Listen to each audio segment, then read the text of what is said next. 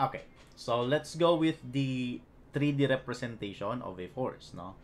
So before siguro nakapag uh, alam natin yung component into x and then into y, no? So that is a plane.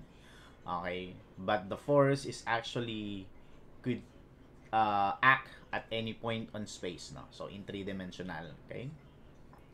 So minsan pagsasama-samahin nila natin siya sa isang space system. Okay? Parang ganito.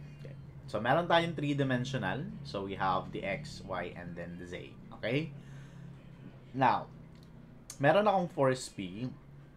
Normally, kapag magre-represent tayo ng isang force on space, para siyang nagre-represent ng isang diagonal ng isang rectangular parallelepiped. Okay? So, pag nag uh, decompose tayo into component, okay? So, sabi natin kung i-decompose ko siya, So, yung force B ko, meron akong force along X. Okay? So, we will call it as my P. X, ibig sabihin, that is the component of force P along the X. And then, meron din ako ditong PY. Okay? So, that is your PY. Or that is the component of force P along Y. And lastly, you have here the PZ. Okay? Or that is the force, uh, the component of force P along the Z. Okay. So, kailangan ma-decompose natin siya sa tatlo. Now, yung magnitude ng kada component, okay, when it comes to its force, dahil sabi nga natin, yung pinaka-force P natin, that is the diagonal.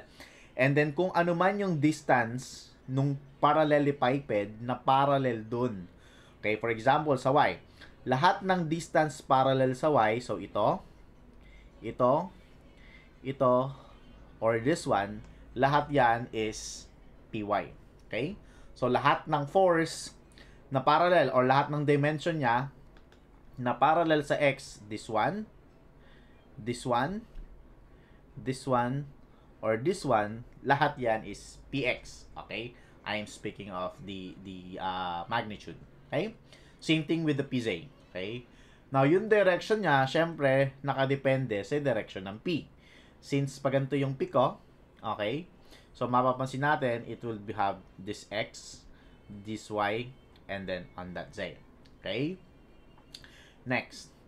Para ma-component ko yan, so I will be having a parang px, so sabihin na natin x component,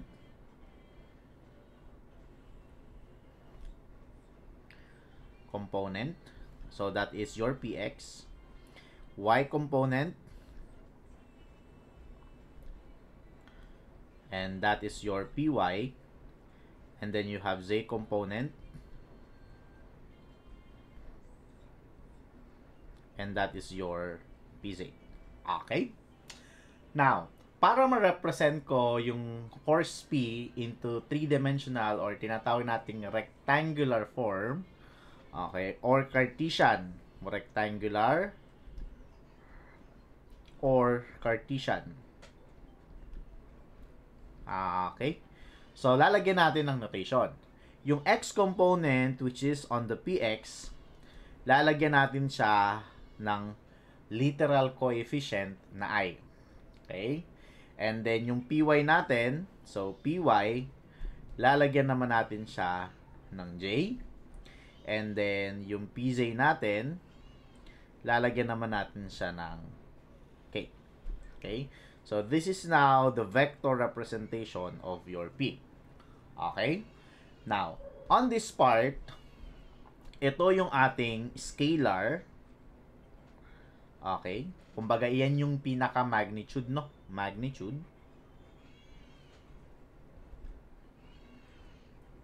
Okay? And then, itong pula, ito yung ating vector. Okay? So, siya yung nagde-determine ng direction. So, ibig sabihin, yung I, it is direction parallel dun sa X. Yung J, siya yung uh, direction parallel sa Y. And then yung K, siya yung vector na parallel dun sa ating K. Okay, now, if you still remember before, kapag kumukuha kayo ng resultant, let's say, sa X and then Y lang, okay, yun, kung natatandaan nyo dati, meron kayong PX, let's say meron kang PY, kukunin mo yung P, So, yung P mo, that is square root of Pythagorean lang, ano? So, px squared plus py squared. Okay? Ngayon, kung kukunin natin yung diagonal ng parallelepiped, okay, paano natin kinukuha? That is using the SRSS, ano?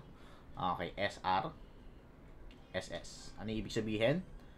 Square root of the sum of the squares. Okay? S, R, S, S. Okay? Square root of the sum of the squares. So, it means kung kukunin ko yung value, okay? Uh, ito pala, this is a vector form. Kung kukunin ko pala yung value ng p or yung kanyang magnitude, and then that would become equal to square root of px squared plus py squared plus pz squared. Okay? So, this is now scalar, no? Scalar yan. Okay? So, that is your uh, magnitude. Okay? So, dahil ito, scalar tong mga to. So, lahat yan scalar, no? So, scalar, any operations on the scalar will result to a scalar quantity. Okay, now, imagine, nung kinuha natin to, okay, example, meron ako ditong theta. Okay, assuming I have here the theta. Okay, paano natin kinukuha before yung px niyan? Okay, so ginagawa natin, p, and then you have here cosine of theta. Tama? Yung py natin, ang ginagawa natin, that is p, and this time that is sine of theta. Paano kapag naging 3? Yung isa ginawang cosine, yung isa ginawang sine. Paano sa z? Tangent, ano? Kasi, okay, that's wrong. Okay, now, this is called the cosine or the, what we call the directional cosine. So, I will teach you what you call the directional cosine. Okay? Si directional cosine, actually, it is just the angle. Okay? Kaya lang, bakit cosine? Kasi pag dinetermine natin yung component niya, laging cosine ang ginagamit natin. No? Assuming ito, yung px natin, I will have it, lalagyan ko ng subscript x. Ibig sabihin, yung theta ko nakadikit dito sa x-axis. Okay? Kaya ang makukuha ko dyan, it should be cosine of x. Now, kung kukuha ko ng angle na to, okay, tatawagin ko naman siyang theta y. Kasi siya yung angle na nakakabit dun sa aking y-axis. So, kapag kinuha ko si y, it is also equal to cosine of theta y. Okay? Y na yung gagamitin ko. So, in short, kung kukuha ko ng third dimension, which is on the z, that is also p cosine, kaya lang, theta z ang gagamitin ko. Nasaan yung mga yon? Okay? Ito po yon. So, if I have here on the x direction, okay, mula dito hanggang dun sa aking force, yun yung aking theta x. Okay? Again, the directional cosine, it should be coming from the positive axis. So, ito yung aking positive axis. So, dun dapat siya manggagaling, no? Nasaan yung y? So, mula dito hanggang dun, this is now your theta y. Okay? And then yung theta z ko, mula dito sa z, papunta dun sa force. And that is my theta z. Okay? So, those theta x, theta y, and theta z, the, they are called the direction cosines. Okay? Or the directional cosines. Bakit? Sila yung nagde-determine kung nasaan yung force P. Okay? And that way, okay, parang ginagawa natin para makuha natin si PX, okay, on this on this figure, it is just equal to P cosine of theta x. And then yung PY ko, that is also P cosine of theta y. And then your PZ is also equal to P cosine of theta z. In vector form, so we can have it as P and that would become equal to P cosine of theta x of i plus P cosine of theta y of j plus P cosine of theta z of K. Okay? So, ayun lang din yon Parang inilagay lang natin into directional cosines. Okay? So, in short, kung papahanap sa inyo, okay, what is now the the the px? Okay? So, ayan, makikita natin, 'di ba? Sabi natin dito from here uh from px, okay? We could say for the directional cosine if we are going to solve for the theta x, So that would become equal to cosine negative 1 of px all over p. Okay? And also for your theta y, so that is cosine raised to negative 1 of py all over p. And then for the z, so that is cosine negative 1 of pz all over p. Okay? So this is how to solve for the direction angles. Kailangan alam mo muna yung components, then you can solve for the direction angles. Or kung alam mo yung directional angles, you can now solve for the components. Okay?